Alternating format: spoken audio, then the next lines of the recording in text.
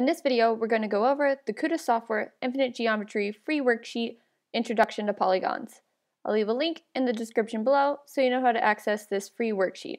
In this section, we're writing the name of each polygon. In number one, this polygon has one, two, three, four, five, six, seven sides. Therefore, it is a heptagon. And number two, this polygon has one, two, three, four, five, six, seven, eight, nine, ten sides. Therefore, it is a decagon. And number three, we're given a figure or a polygon with one, two, three, four, five, six, seven, eight, nine sides. And a nine-sided polygon is a nonagon. And number four, we have a one, two, three, four, five, six-sided figure. And a six-sided figure is a hexagon. And number five, this figure has one, two, three, four, five sides. A five-sided figure is known as a pentagon. And number six, this figure has one, two, three, four, five, six, seven, eight, nine sides. So this polygon is a nonagon. And number seven, we have one, two, three, four, five, six sides, which makes this a hexagon. And finally, in number eight, we have one, two, three, four, five, six, seven, eight, nine sides. So this is a nonagon.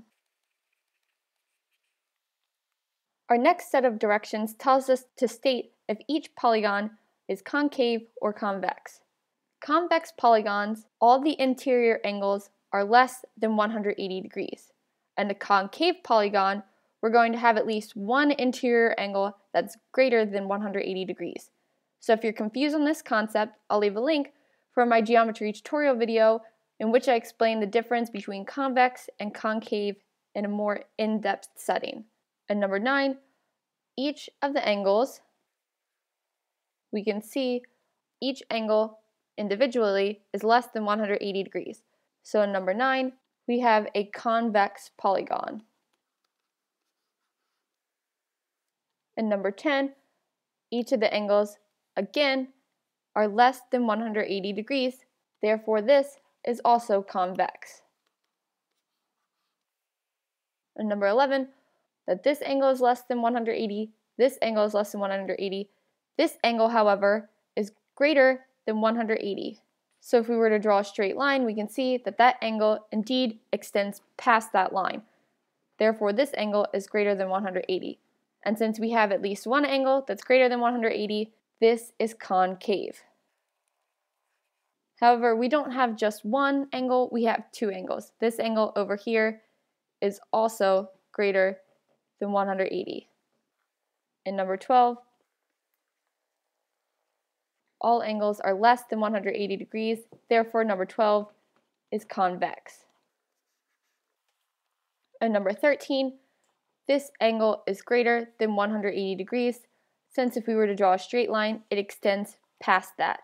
Therefore, since we have at least one interior angle that's greater than 180 degrees, that makes the polygon in number 13 concave.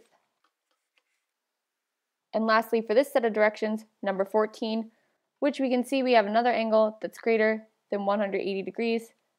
Since if we were to extend this side, that angle goes past the straight line. Therefore, in number 14, we also have a concave polygon. In our next set of directions, we're to state if each polygon is regular or not regular. A regular polygon is convex, so all the angles are less than 180 degrees, and all the sides are congruent and all the angles are congruent. So number 15, each side is indeed congruent to the other sides, and as well, each angle is congruent. Therefore, number 15, we have a regular polygon. Right away, this side is not congruent to this side since it's shorter. Therefore, since all the sides aren't congruent, this is not regular. And number 17, that every side is indeed congruent. Not only that, every angle is also congruent. So number 17 is regular. Remember that one of the constituents, or one of the properties of a regular polygon, is that it's convex. And in 18, we can see that this figure is not convex, but concave. Therefore, number 18 is not regular. Number 19 is easy to see that the short side is not congruent to this longer side. And since all the sides are not congruent, this polygon is not regular. And lastly, for this set of directions, we have number 20. And number 20, the sides are congruent and the angles are congruent. Therefore, this is a regular polygon. Next, we'll move on to our critical thinking questions. On number 21, it tells us to sketch a concave hexagon. That means that at least one angle is greater than 180. Let's start by drawing that angle. So this is my angle that's greater than 180 degrees, and it has to be interior. So now I'm just going to draw four more lines since a hexagon is six-sided or has six sides.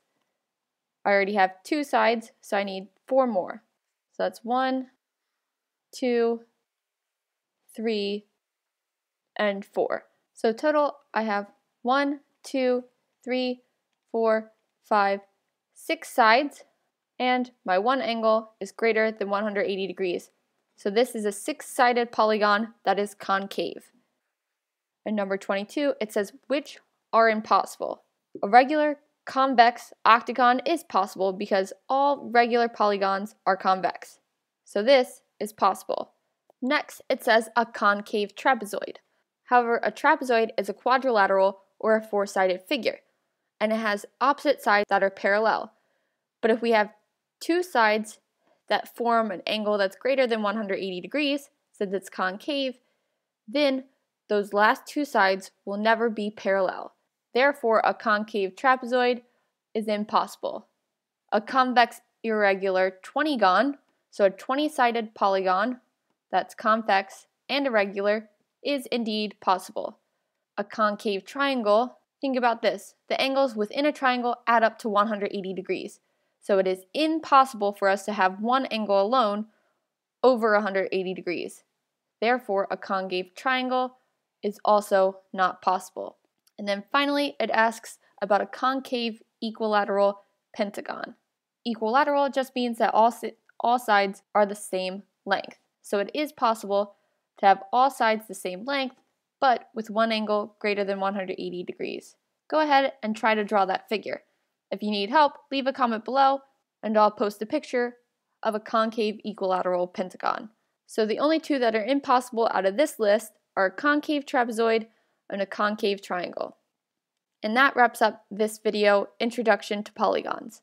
If you have any questions, leave a comment below. Don't forget to subscribe and also like this video if you found it useful. And I'll leave a link in the description so that you know how to access my geometry tutorial section in which I explain regular, concave, and convex polygons more in depth. So go to that if you need further explanation.